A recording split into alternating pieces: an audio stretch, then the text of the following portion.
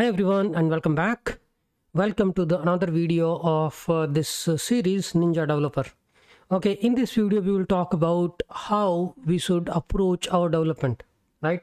Everybody knows how to write the code but the only thing is how to approach and write the clean way of structure of your components of your folders or what kind of styling which you, you should adopt for your project. Styling means everything about your uh, projects. How you are testing it how you are structuring your files and folders how you are putting the namings what particular uh, variable namings folder namings everything is inside this. Okay. So uh, i mean every javascript uh, project here i'm talking only about javascript because this whole playlist circles around javascript. We always have the package json right? And in the last video we already talked about all these tools. I will be just initializing this repository. Okay now i am on this repository. What i will do is i already have node.js installed so i have npm already there right?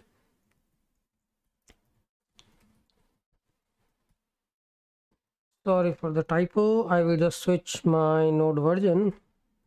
And we have npm so what i will do is starting npm init right? I will just simply if i create this package json so this package json is there. Now this is required for any kind of javascript development right? It will have a script author license dependency dev dependencies and all. So we need to worry about what we are putting inside a dependency what we are putting inside a dev dependencies because lots of developers messed up with this thing and then they just put random versions random dependencies and all. Because you are a pro developer only if you know what you are including how the compatibility list is there. Let's say uh, you are installing some package which is not really compatible with other package. Because in javascript i mean uh, i spend most of the times on the github issues. Why?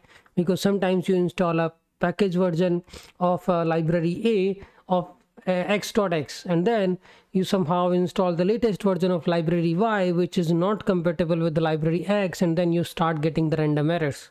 And then somewhere on the github issues you say okay only this typescript version is compatible with this library and all and it's all gets get messed up. That i agree. Everybody faces that uh, all these issues right? So we need to be compatible and we need to be looking at the warnings when you install any particular package. So let's say if i'm installing uh, express.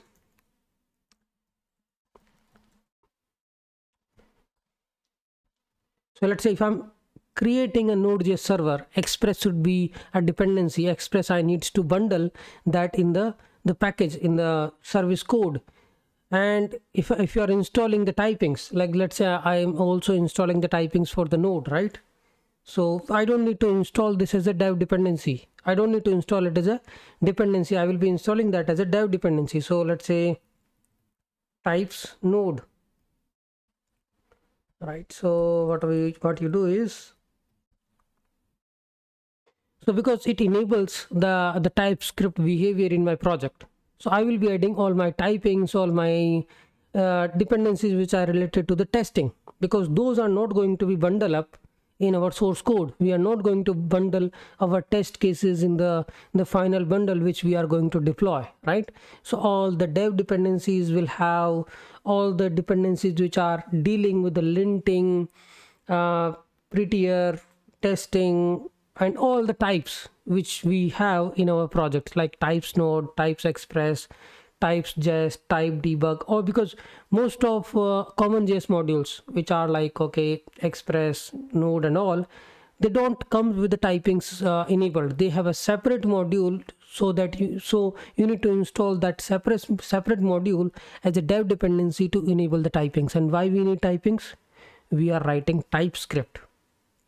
And if you are doing, if you are importing that library and doing express app.lation relation is not a method. It will throw an error right? Because the because this compiler because in the uh, you are writing a typescript code which requires that each and every type is available for the compiler. Compiler already knows that app.lation is a method which takes these arguments of these types. Otherwise there will be a compiler error showing the red symbol okay? Then you start adding okay i can see the 4000 dependencies. Obviously I need to add a git ignore, right? And if you don't know the git ignore, uh, what it should contain, copy it from some existing git ignore file. Right now I can see I have only three uh, files which I have changed. So it will contain build, dist, all the ds, uh, all the files which I wanted to ignore. Let's say the coverage, coverage folder, everything which is inside coverage, test, dot .vs code, whatever you want to exclude to be pushed to the GitHub, you will be adding that in the git ignore. And these are primarily the folders which you want to exclude because on the github or any whenever you want to deploy this code what you need the only the source code and the core dependencies right? So you will exclude all those things. And node modules you are excluding because in the CI pipeline you will be adding these packages on the fly and then giving creating a package running the test cases and all those things will happen. Okay? So you will adding the source code and source folder and then you will start adding the everything you need. A source test and inside source code you will be creating your folder structures and all. So that depends on what kind of applications you are building now we are living in 2023 and obviously we won't be doing these things okay? Manually creating packages and importing the dependencies and all because there are smart cli tools are available. Next cli react cli angular cli you name it. All these auto generated tools are available. I mean we are in the chat gpt world and we cannot just write these manually. I mean if i spend half an hour in setting setting up my baseline code i'm just i'm just wasting my time. Obviously i need to understand okay how this is done but now we are just using these uh, cli tools to automate these things. I mean i will just do is a next cli install next cli globally. How we do it is npm install minus z and your package name. Let's say i think it's nest cli what it will do is it will install the nest cli globally on the system and then I can use this nest command to generate a simple nest.js project scaffolding which contains even the, the project structure, the files, test cases, mock test cases already created. And then I think now I can play with this command. Oh, it's uh, nest CLI yeah it's nest CLI and there is a command is generate new nest CLI I always forget this command create new okay so I mean there is some command which will help you to create a simple nest.js app okay similarly there is angular CLI create react app create next app these are auto generated CLI tools. So we do we are not worried about okay how the setup will be done. But we will understand it with the monorepo that say you have a front end and back end app. Then how you can move the dependencies on the root. Because what happens is let me just get these get rid of these things. Or what I will do is I will just rename it to apps I will remove the node modules package JSON we can still keep it. Package lock I will just remove it. We are going to create a workspace. Okay? That workspace is like pnpm workspace npm workspace or yarn workspace. Because in modern day we don't build just a front end and we also build a back end. If you want to just create a nest.js app you can just go to the nest CLI like this. Nest CLI and it will give you the scaffolding. And similarly there is angular CLI that will give you a simple command. You install it globally and then simply create ng new my first project in angular. And these are standards because if you are trying to baseline your angular app baseline nest.js app baseline react app you are wasting time by exploring those things. You can just use the cli tools because they are they are optimized whatever they have in the dependencies are the optimized and the best for yourself to build an application. Similarly there is an angular app. Similarly there is a create react app. I hope you all aware about all those things. So you can include it. I'm just talking about monorepo so that uh, we can have a multiple projects inside of one folder. If you want to spin up on the individual express app there is a for express there is express cli generator. Express generator i remember that was i was using it it will help you to just create a basic scaffolding for the express app. Similarly there is an cli to uh, it will create all these folders structures and then you can customize the routes and all those things based on your uh, demand okay? How you want to build the application. Because uh, express is uh, like open to the world. They can decide whatever they want. Nestjs is kind of opinionated. It has its defined structures defined building blocks which you need to follow to build the application. Okay so how it will be different when we are using some monorepo and the workspace? So I what I will do is there will be root package JSON and then there is a small package JSON in every projects so here I want to have a monorepo where I can keep only the application related project dependencies.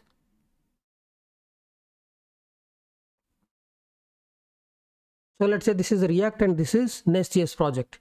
We are putting inside a workspace. First of all let's talk about workspace. I'm just using a pnpm workspace. Right so what you need to do is for pnpm workspace you just need to have a pnpm workspace yml right at the root of your project which looks something like this.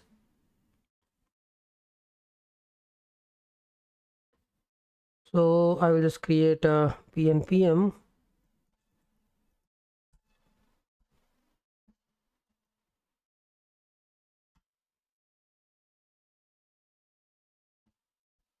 packages apps. These are the two things i wanted to include inside a workspace uh, is this typo it's workspaces or workspace.yaml i always do the same mistake. It's yaml now it looks correct. And then you can have a package json. Okay? And then you will so what is the advantage here if you are using the workspace you will just move all the common dependencies of all the projects which are related to the prettier ESLint and Jest, Husky, all the common dependencies which you want uh, in your project. Like uh, we have a prettier we have a ESLint, Husky, uh, just a hook, GitHub hook which runs the ESLint before you put a commit. So all those tools what you do what you will do is you will put inside a root project. Means outside your workspaces so i will have this package json will be populated with all those uh, dependencies. And then in these applications i will be having create react app nestjs app angular app all those kind of applications only focusing on the dependencies which those kind of applications needs.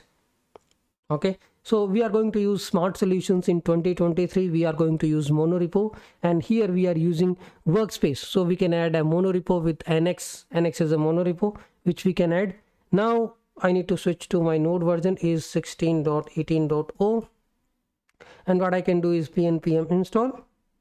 Currently we don't have anything inside our packages or applications everything is empty we don't have anything so pnpm install will just see what is there in the package json it will just install these dev dependencies and dependencies at the root. So it will just create a node modules and that will be done. Now it comes to how we create a baseline setup for pnpm and uh, monorepo right? You need to have all the depend required dependencies. You need to bootstrap bootstrap some of the applications. So that we will do. Here we just need to get uh, on board all the required dependencies and dev dependencies which are not specific to any tools or technology. These are some of the common dependencies i extracted out so that we can reference it. We don't need to install those dependencies again. Your packages and applications can reference from the root because that is the use of this workspace we have added.